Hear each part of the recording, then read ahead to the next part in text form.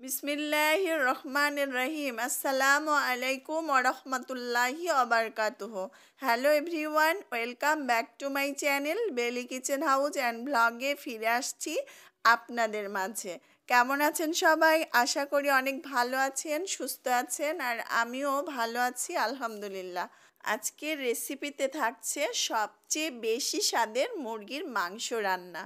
Normally কিন্তু আমরা মুরগির মাংস কম বেশি রান্না করে থাকি। কিন্তু যারা মাংসটা রান্না করলে মাংসের স্বাদটা ঠিকঠাক মতো হয় না এবং আপনারা যারা নতুন রাঁধুনি আছেন, তাদের জন্য কিন্তু এই রেসিপিটা অনেক বেশি কাজে লাগবে। কারণ আজকের রেসিপিতে আমি কিছু টিপস অ্যান্ড ট্রিক্স শেয়ার করব, যেটা ফলো করলে আপনাদের মুরগির রান্নাটা সব থেকে বেস্ট হবে। সো আর কথা না বাড়িয়ে রান্নাঘরে চলুন। বিসমিল্লা বলে শুরু করছি।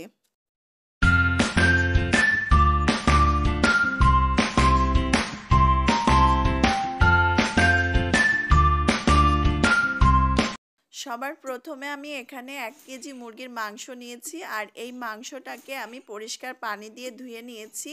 এখানে আমি দেশি মুরগিটা নিয়েছি। আপনারা চাইলে সোনালি মুরগি নিয়ে এই সেম রেসিপিটা ফলো করে রান্না করে নিতে পারেন। সবার প্রথমে আমি এখানে দিয়ে দিচ্ছি রসুন বাটা এক টেবিল চামচ, আদা বাটা হাফ টেবিল চামচ, পেঁয়াজ বাটা এক টেবিল চামচ, হলুদের গুঁড়ো এক চা চামচ। মরিচের গুঁড়ো দুই চা চামচ, জিরার গুঁড়ো এক চা চামচ, ধনিয়া গুঁড়ো এক চা চামচ এরপর দিয়ে দিলাম স্বাদ অনুযায়ী লবণ। সব শেষে অ্যাড করছি হাফ কাপ পেঁয়াজ। এবার এই সব মশলাগুলোকে আমি মাংসের সাথে ভালো করে মেখে নেব। মাংসটাকে এমনভাবে মাখাতে হবে যেন সবগুলো মশলা মাংসের গায়ে ভালো করে লাগে। আর এই ম্যারিনেশনে আপনারা চাইলে এক টেবিল চামচ তেল ব্যবহার করতে পারেন।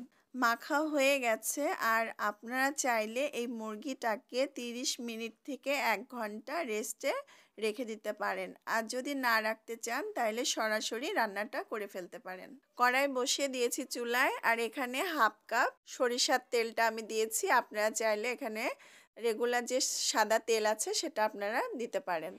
তো আমি তেলটাকে ভালোভাবে গরম করে নেব। যেহেতু এটা সরিষার তেল, ফেনা উঠে যায় মশলা কষাতে গেলে। তো আমি তেলটা ভালোভাবে তাপিয়ে নেব আর তারপরে একটু ঠান্ডা করে মশলাগুলো আমি দিয়ে দেব। তেলটা গরম হয়ে গেছে আর আমি একটু ঠান্ডা করে নিয়েছি তেলটাকে। আর এখানে গরম মশলা দিয়ে দিচ্ছি দারুচিনি দুই একটা টুকরো। আর দিয়ে দিলাম এলাচ চারটা, লবঙ্গ তিন চারটা। আর দিয়ে দিচ্ছি গোলমরিচ পাঁচ, ছয়টা, তেজপাতা দুইটা। গরম মশলাগুলো হালকা করে ভেজে নেব। এরপরে আমি মাখিয়ে রাখা চিকেনটাকে দিয়ে দিচ্ছি। এবার এই চিকেনটাকে ছয় থেকে সাত মিনিট চুলায় মিডিয়াম টু হাই হিটে আমি কষিয়ে নেব।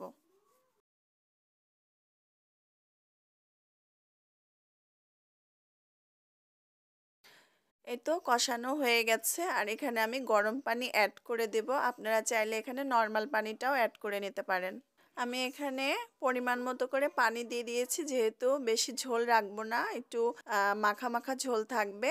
ঢাকনা দিয়ে আমি ঢেকে দিয়েছি আর মাঝে মাঝে আমি নাড়াচাড়া দেব যাতে তলায় না লেগে যায়। তো আবারও ঢাকনা দিয়ে দিলাম। হওয়া পর্যন্ত অপেক্ষা করব। চিকেনটা কিন্তু অলমোস্ট রান্না হয়ে গেছে। আর স্লো হিটে আমার এই চিকেনটা রান্না করতে সময় লেগেছে 30 থেকে চল্লিশ মিনিট। তবে এই চিকেন রান্নাটা কিন্তু এখনও শেষ হয়নি। এর মধ্যে একটা ইম্পর্টেন্ট স্টেপ বাকি রয়ে গেছে। আর সেটা হচ্ছে এই চিকেনটাকে আমি বার্গার দেব। এই তো চুলায় প্যান বসিয়ে দিয়েছি আর আমি এখানে সরিষার তেল দিয়েছি। আর এখানে দুই টেবিল চামচ আমি পেঁয়াজ কুচি দিয়েছি আর তিনটা শুকনো মরিচ দিয়েছি। আমি এটা বাদামি কালার করে ভেজে নেব আর ভাজার পরে আমি এই মুরগির মাংসের ভিতরে এটা দিয়ে দেব। আর বাগার চিকেনে অ্যাড করার পর কিন্তু এটাকে নাড়াচাড়া করা যাবে না। এটাকে সাথে সাথে ঢেকে দিতে হবে। আর এটাকে আমি ছয় থেকে সাত মিনিটের মতো ঢেকে দেব। কারণ বার্গার দেওয়ার পর যদি আমরা এটাকে নাড়াচাড়া করি, তাহলে কিন্তু বার্গারের যে সুন্দর ফ্লেভার সেটা কিন্তু ভালো মতো চিকেনে ছড়াবে না। এই রেসিপিতে কিন্তু এই বার্গারের অংশটা মিস করা যাবে না, কারণ সরিষার তেলের এই বার্গার দেওয়ার কারণে কিন্তু চিকেনের টেস্টটা অনেক বেশি বেড়ে যাবে।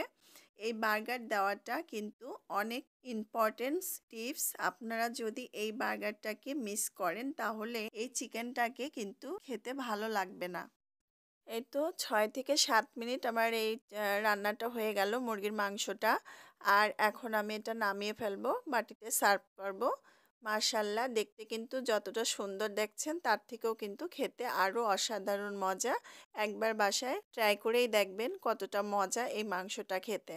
আশা করছি আমার এই ভিডিওটা আপনাদের ভালো লাগবে। আর যদি ভালো লেগে থাকে, লাইক, কমেন্ট, শেয়ার করবেন এবং আমার চ্যানেলটিকে একটি সাবস্ক্রাইব করবেন। তো এখানেই শেষ করছি। ভালো থাকবেন, সুস্থ থাকবেন। নেক্সট ভিডিওতে আবারও দেখা হবে ইনশাল্লাহ। আসসালামু আলাইকুম রহমতুল্লাহি ওবরকাত